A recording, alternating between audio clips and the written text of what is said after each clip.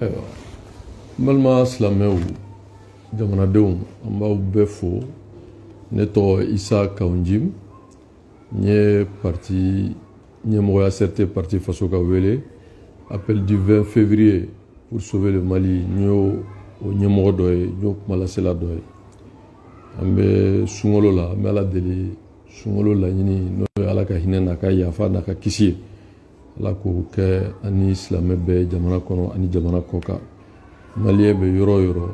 an b'aw bɛɛ lajɛlen fo jamana kɔnɔ ani jamana kɔkan minnu fatura nin kalo hɛrɛma in na ala ka baarabara lafiya nɔgɔyaw ye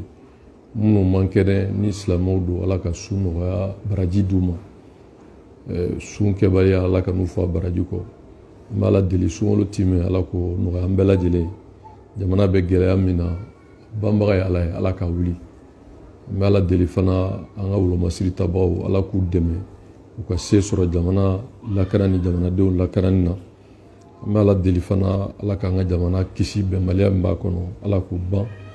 ala kana ni hakilisigi ani bɛn ye eh, ala kira ko ale salatu wasalam an tɛ wajilikɛla ye n'an ye mukalidu ye ko n'i bɛ kuma i ka kuma ɲuman fɔ n'i tɛ kuma ɲuman fɔ k'i k'i da de kuma in karamɔgɔkɛ karamɔgɔw ye tafsiri caman k'a la n'an tɛna wulawulali ko la ka d'a kan minnu ye dɔɔni dungo ye olu bɛ kuma ye muradu dɔn an b'a fɛ ka min fɔ dɔrɔn o de ye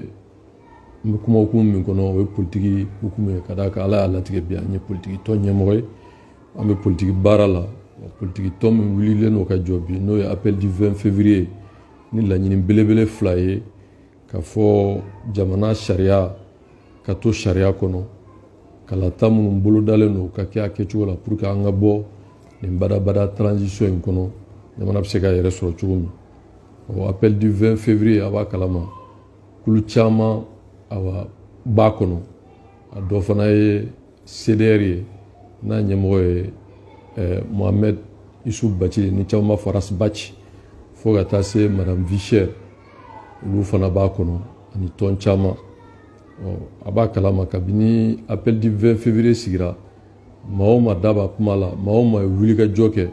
ni gɛlɛya ma ɲɛsin min ma i b'a sɔrɔ o ye gɛlɛya sɔrɔ a kun ye mun ye laɲini ɲuman b'a la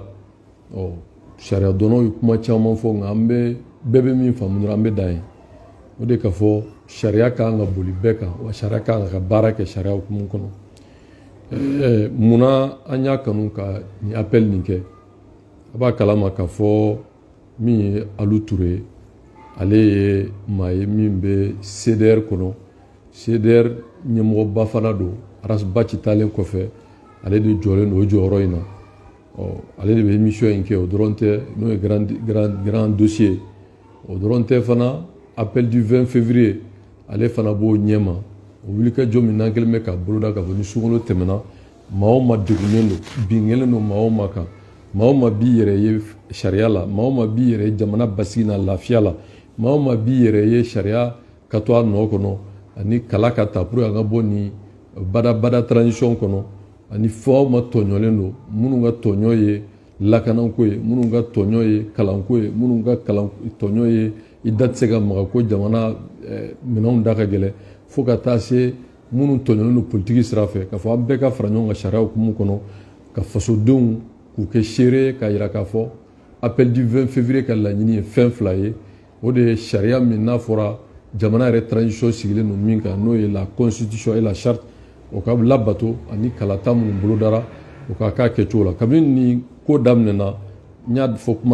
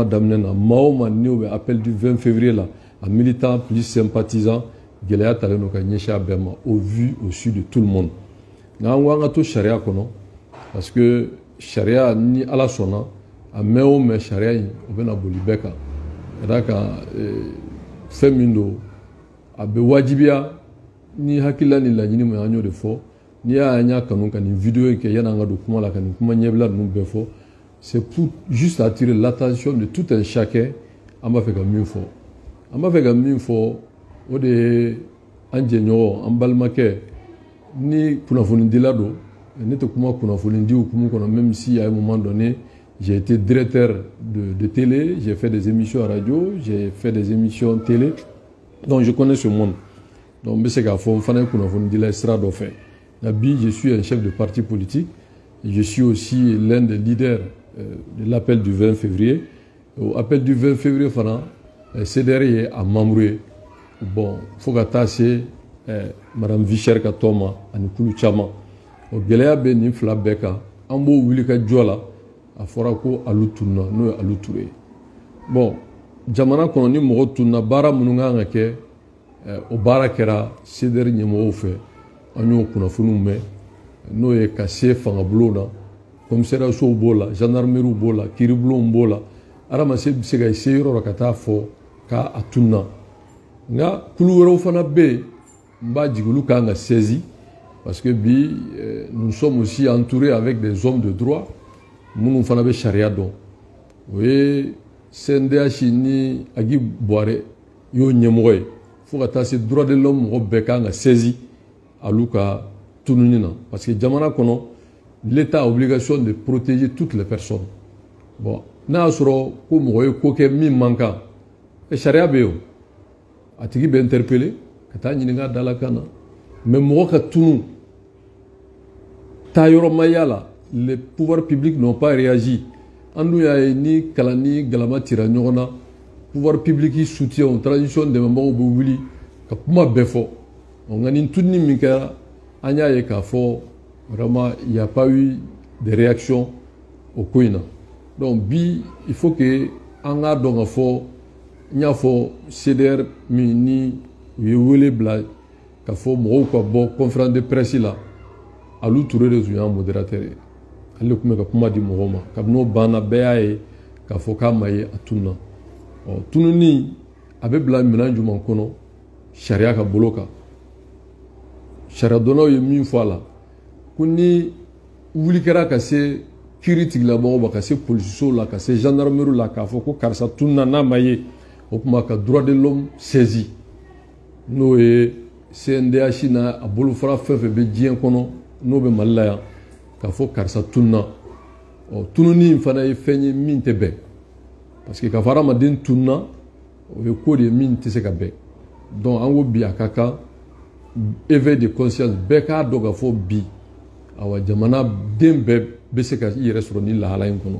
donc a man kan an k'an sigi ka bolo da an sen kan sariya hukumu kɔnɔ wulikajɔ fɛn o fɛn kan ka kɛ pour que jamana ka segin sariya kɔnɔ parce que nin bɛɛ laɲini ye mun ye c'est de de nous distraire et que k'an na ɲina parce que ni arasa minɛna an ko euh,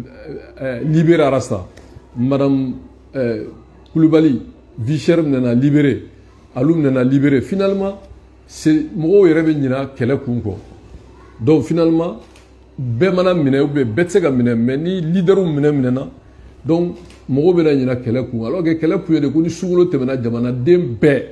mɔgɔ mɔgɔ b'i yɛrɛ ye jamana basigi la jamana lafiya la maa o maa tɔɲɔ na kulu o kulu tɔɲɔ na an bɛɛ ka fara ɲɔgɔn kan k'a fɔ an b'a fɛ tɔɲɔ ka bɔ jamanadenw kan jamana ka to sariya kɔnɔ jamana transition ɲɛmɔgɔw ye minnu fɔ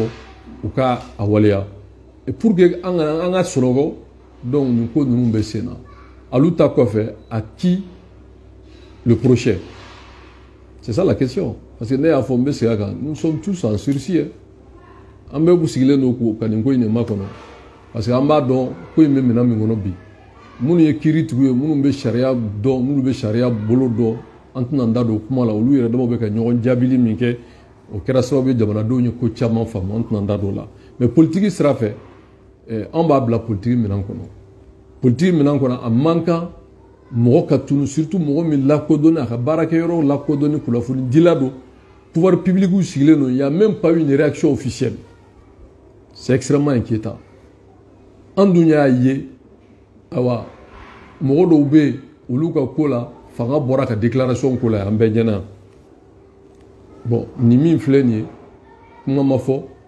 fanga ka lafasatɔ minnu bɛ yen ni file ni galama cira ɲɔgɔn na u bɛ plɛnti wa ɲini u bɛ u b'a fɔ k'o tigiw ka minɛ u bɛ u b'a fɔ k'o tigiw datugu u bɛ u b'a fɔ k'o tigiw kɛ tan bɔn fanga nɔfɛ mɔgɔ si ma kuma donc an bɛna ɲini an yɛrɛ ɲininka yala alu ture tununi min kɛra awa a bɛ bolo ɲuman kan a tununa kun ɲuman kosɔn parce que an b'a dɔn an bɛ to sariya kɔnɔ mɛ ɛseke que bi sariya yɛrɛ ka baara ye mun ye nin ko in na ɲininkali kan ka kɛ sariya ka baara ye mun ye ni mɔgɔ tunna sariya kan ka jɔ jɔyɔrɔ jumɛn na o ɲininkali kan ka kɛ o minnu yɛrɛ ka baara ye ka jamanaden bɛɛ lakana n'a bɛ fɔ les forces de sécurité de défense olu fana jɔyɔrɔ ye mun ye nin ko in na o ɲininkali ka kan ka kɛ et le silence du pouvoir public o ɲininkali ka kan ka kɛ et les affidés du pouvoir n'u kɛlen b'u k'u da de nin kan o ɲininkali ka kan ka kɛ donc an y'a faamu bi k'a fɔ nin ko min filɛ nin ye bamananw ɲumanna ni i ye duga ye mɔgɔ su la ka n'a fɔ bɔ mɔgɔ su kan fo bɔ an su kan parce que nin ko min filɛ nin ye n'o ye alu ture ka tununi ye bɛɛ kan ka faamu mɔgɔ min ye kunnafonidila ye mɔgɔ min ye ka laɲini ye ko tɔɲɔli ka bɔ jamana kɔnɔ mɔgɔ min ye politiki baarakɛla ye mɔgɔ min i y'a faamu bi k'a fɔ transition bɛ sira min kan a tɛ se ka jamana se danga ɲuman na nin bɛɛ kan k'i sigi k'a fɔ don dɔ la turu bɛ se ka s'an bɛɛ ma c'est ça la triste vérité o de y'a to bi eh, il faut que an ka fara ɲɔgɔn kan pour que non seulement de dénoncer eh, cette disparition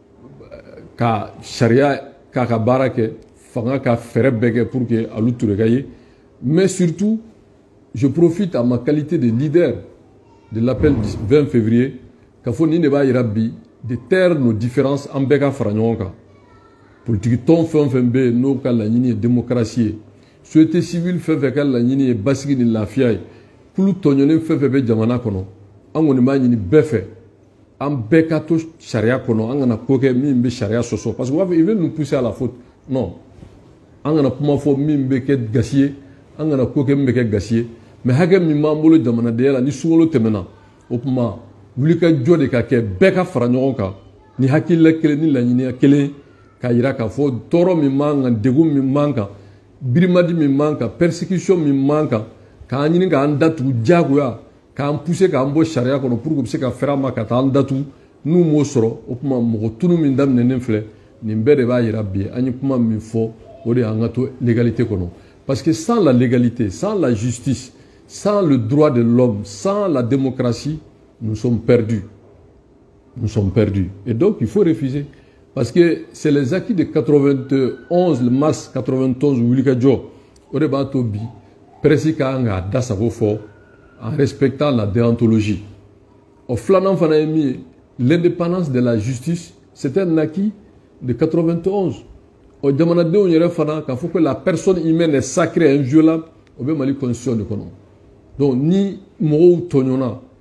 u bɛ taa o refere yɔrɔ min na o ye fanga ye ɔ bi an dun b'a dɔn i tɛ se ka kuma n'i ko a man ɲi i bɛ taa kaso la parce que a fɔra ko mɔgɔ kana don registre wɛrɛ kɔnɔ ko registre tɛ yen mɔgɔ tɛ don registre wɛrɛ kɔnɔ et nous nous sommes registre politique an b'a kɛ cogo di donc an fana bɛ mukalidu kuma dɔ fɔ tiɲɛ don kalo tɛ jɛ kalo kan mɛ kalo bɛɛ bɛ sa kalo tɛ jɔ kalo kan mɛ kalo bɛɛ bɛ sa wala ni kalo bɔra lolo bɛɛ k'a kɛrɛfɛ mɛ kalo yɛrɛ bɛ sa wala kalo dun donna dibi la n b'ala deli ala ka hakili ɲuman di bɛɛ ma parce que hadamaden bamananw ye kuma dɔ fɔ o fana ye tiɲɛ ye o mɔgɔ bɛ se so la i tɛ yɛlɛ a nun kan i bɛ se so la i tɛ yɛlɛ a nun kan jamana in y'an bɛɛ de ta ye jɔyɔrɔ ko minnu filɛ nin ye jɔyɔrɔ ye wagati ko de ye mɛ fɛn min bɛ yen n'o ye badabada ye n'o bɛ tugu adamaden kɔ o ye i ka tilennenya n'i ka laadiriya ani ka faso kanu ani baara ɲuman an bɛ ala deli ala ka hakili ɲuman di bɛɛ lajɛlen ma yanni ka bɔ kuma la an b'a fɔ cdr tɔnden bɛɛ ye an b'a fɔ madame vichɛr ka tɔnden bɛɛ ye maa wɛrɛw sera an ma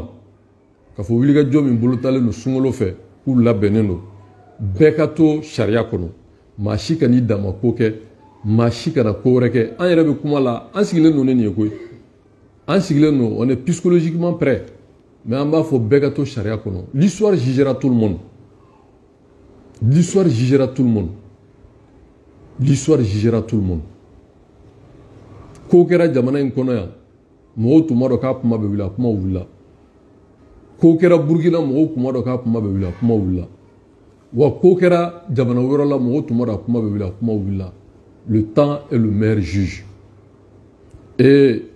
wa fanga yɛrɛ yɛrɛ fangatigi yɛrɛ ye ala subahana wa taala ye ala de ko a yɛrɛ ma la hawla wala quwwata illa billah ka fɔ se tɛ yen fanga tɛ yen jɔyɔrɔ tɛ yen ni mɔgɔ bɛ so la fɔ ala mɛ fɛn o fɛn n'a bɛ kalifa adamaden ma wagati ko don danayaw de don n'a ɲɛna a ɲuman n'a hɛrɛ a bɛ tugu i kɔ fo n'i dalen don laharako la fo lahara n'i yɛrɛ dalen to la ɛ min ye diɲɛ ta o bɛ k'an bɛɛ ɲɛna fɛn o fɛn sigira tɔɲɔli kan o bɛ wuli tɔɲɔli kan fɛn o fɛn sigira laadiriya ni tilennenya kan o bɛ ba hɛrɛ la maa bɛ ala deli ala k'an ka jamana sabati laadiriya ni tilennenya kɔnɔ alu min filɛ nin ye ni cdr mɔgɔ don kunnafonidila don appel du 20 février o ɲɛmɔgɔ dɔ don parce que arasibasi bɛ bolola ala ka ɲuman bɔ alu yɛrɛ tunna de parce que min ka juguya bɛɛ ni mɔgɔ bɛ bolola o fana dɔnnen don k'a fɔ a bɛ bolola yɔrɔ min na o dɔnnen mɛ ni mɔgɔ tunna bɔn sariya la n tɛ sariya ɲɛmɔgɔ ye mɛ wulikajɔ kɔni kɛra ka ɲɛsin fangaw ma kɔfɛ o tuma droit de l'homme de bɛ saisi il faut que droit de l'homme agi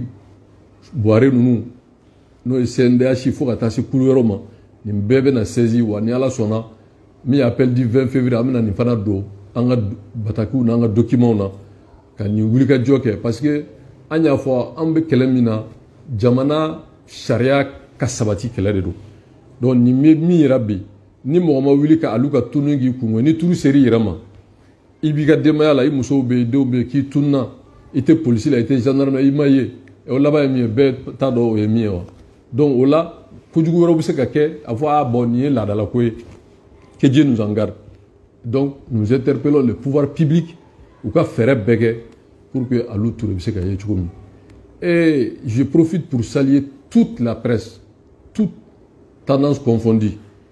u ye acte de solidarité min kɛ et nous sommes derrière eux nous les soutenons parce que n'i ye bɛɛ ka kɛlɛ de ye c'est pas seulement la presse maliyɛn bɛɛ mɔgɔ o mɔgɔ bɛ hami ni basigi ni lafiya ye nin ye bɛɛ ka kɛlɛ de ye parce que n'a fɔra ko ni e tɛ transition ko la dɔrɔn e bɛ tunu Mais c'est extrêmement grave. C'est extrêmement grave. C'est extrêmement grave. C'est plus que grave. Mais an ka to sariya kɔnɔ an bɛ ala deli alu turu ala ka ɲuman ye fisɛ in sauf a ka segin a ka denbaya la bɛɛ ka to ka appel du 20 février ka appel makɔnɔ ni sunkalo tɛmɛna an bɛna wulikajɔ min kɛ basigi ni lafiya kɔnɔ k'a yira diɲɛ na k'a yira jamana la k'a yira jamanadenw na k'a fɔ mɔgɔw bɛ yen minnu tɛ transition ko la mɛ an bɛɛ bɛ jamana ko la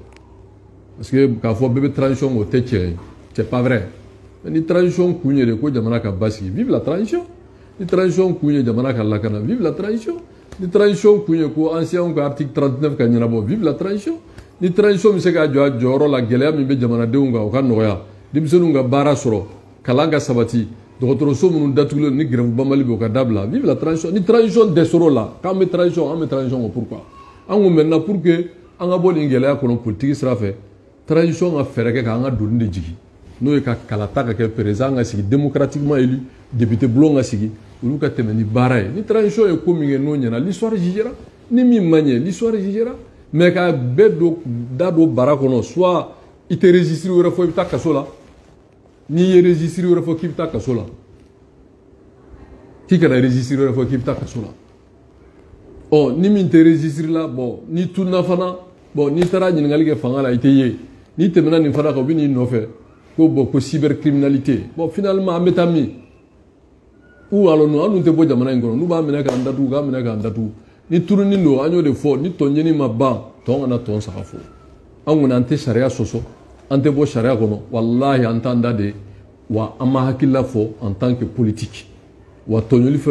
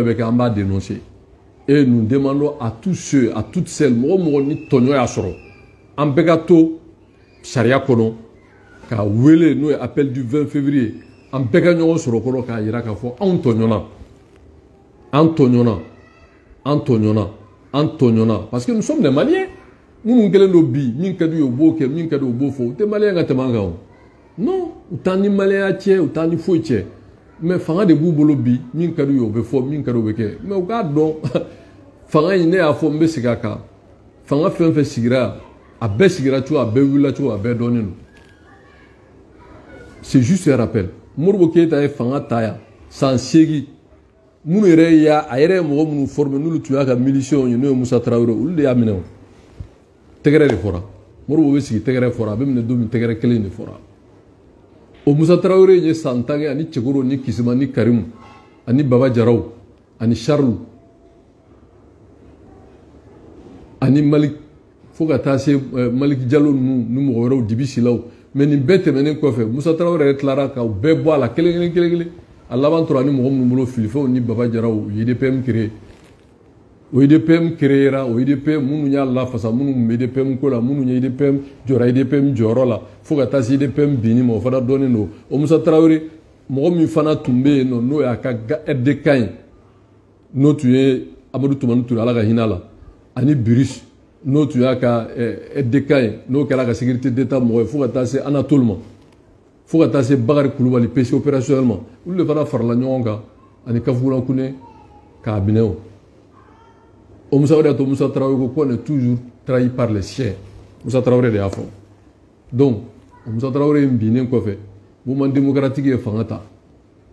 att ye élection kɛ ka taa jamanadenw sɔnna y'a seginna ka na o kɛra an bɛɛ ɲɛna mais o att kelen sanogo fana tilala k'o ka fanga firi donc le virus de coup d'état au mali ici là ça pas commencé aujourd'hui hein? non ça pas commencé aujourd'hui ɔ oh, ni min fana bɛ sen na a fɔra de ko parachever la lutte du peuple bɔn bi a kɛra min an t'a tɔgɔ dɔn tugun ko registre wɛrɛ tɛ se ka fɔ donc i bɛ a olu ta in fɔ ou bien i bɛ taa kaso la ou bien i b'i da de i bɛ to i ka so ou bien i bɛ ji kɛ bidɔn na i bɛ taa bon nin bɛɛ de b'a jira bi ka fɔ ko in bɛ ka kɛ min ye an bɛɛ y'a faamu nous avons tous compris on n'est pas naïf c'est juste nous imposer la terreur c'est nous imposer la dictature voilà n'an tɛmɛn'o kan u b'an minɛ k'an datugu bon tununiko min donnen filɛ a la nin ye ah, o de ye fɛn ye min fana on est arrivé à un autre à une autre dimension donc an bɛ ala deli ala ka hakilisigi di bɛɛ ma mariko filɛ nin ye badabada eh, exil la bon minnu ye politiki mɔgɔ wɛrɛ olu fana bɛ kɔfɛ ɔ dɔw bɛ kaso la dɔw tununnen don dɔw labɛnnen don awa nin bɛɛ a bɛ mun yɛrɛ bi parce que tout simplement i kan'a fɔ ko fɛn dɔ bɛ transition na min man ɲi ɛ ni min man ɲi n'o tun tɛ fɔ i bɛ k'a bɛ taa wa ala ka hinɛ a ka yafa ma donc bi vraiment ka bɔ kuma la eh, notre soutien total au CDR à la presse en général mais surtout à toutes les personnes qui sont souciées euh, de, de la démocratie de la bonne gouvernance mais surtout aussi des droits des personnes des droits humains de se mobiliser Euh, vraiment derrière l'appel du 20 février ensemble ni sunkalo tɛmɛna an ka bɔ k'an ka dusukasi yira k'an ka fasoden ɲuman yira ka demander vraiment la, la, la démocratie et de bonnes élections pour que jamana k'a yɛrɛ sɔrɔ parce que mɔgɔ caman ma se ka min faamu mɔgɔw b'a fɔ a nin gɛlɛya bɛ yen aw tɛ dɔwɛrɛ la constitution ni démocratie mais justement constitution de b'a to paroni tɛ se ka kɛ constitution labatoli de b'a to dantɛmɛ tɛ se ka kɛ sariya kɔnɔ constitution de b'a to sɔrɔdasiw bɛ taa jamana de lakana ka jamanadenw lakana ka taa kan kɔnɔ constitution de b'a to démocratiquement jamanadenw bɛ bɔ ka fanga ɲini constitution de b'a to député yɛrɛ yɛrɛ bɛ sigi constitution de b'a to jamana ni diɲɛ bɛ bɛn mais n'a fɔra ko kana fɔ ko n'i y'o fɔ i bɛ taa kaso la ou bien i bɛ tunu aa a ko gɛlɛyara dɛ donc mɔgɔw k'a faamu an bɛ jamana basigi fɛ an bɛ jamana lafiya fɛ mais nous sommes politiques totalement et clairement politique. Et nous ne sommes pas un soutien à la transition, mais nous sommes un soutien vraiment à un Mali indivisible. Nous sommes un soutien à la démocratie, nous sommes un soutien à l'ordre constitutionnel, nous sommes un soutien vraiment à un Mali indivisible. Au doute, c'est qu'il faut charia Kaboulibeka. Charia aussi, personne ne doit avoir peur de la justice. Mais nous avons peur aujourd'hui de la justice. Amisrane, justice, Voilà, Amisrane. n'an ka masira ma tiɲɛ fɔ sinon ni sariya yɛrɛ yɛrɛ bɛ jamana kɔnɔ mais nous sommes heureux parce que an bɛ a b'an bɛɛ lafiya a b'an bɛɛ hakili sigi an b'a dɔn bi tɛ se ka k'an kan mais bi bin bɛ k'an kan bi au nom de la, la, de la loi mais an yɛrɛ b'a dɔn bin bɛ k'an kan pour nos opinions an ma mɔgɔ faga an ma sonyani kɛ an ma jɛnɛya kɛ an ma nkalon tigɛ an ma mɔgɔ ka nafolo dun mais an bɛ minɛ ka taa an datugu ko parce que k'an kumana ɛ jɔni de bɛ yen min tɛ kuma bɔlɔlɔ kan bi anw tɛ mɔgɔ fa nin an tɛ mɔgɔ ba nin an ma deli ka mɔgɔ neni mais an tɛ se ka foyi critiquer n'i ye kiritigi kɛ k'o ye registre ye i bɛ taa kaso la donc finalement a faamuyara o mais ni lolo bɛ bɔ kalo kɔrɔ kalo fana bɛ sa o ni kalo sara ni lolo bɛ taa ɲɔgɔn fɛ n bɛ ala deli ala ka kalo sa hɛrɛ la ka kalo hɛrɛma jɔ ka jamana basigi ka hɛrɛ k'an bɛɛ lajɛlen wasalamu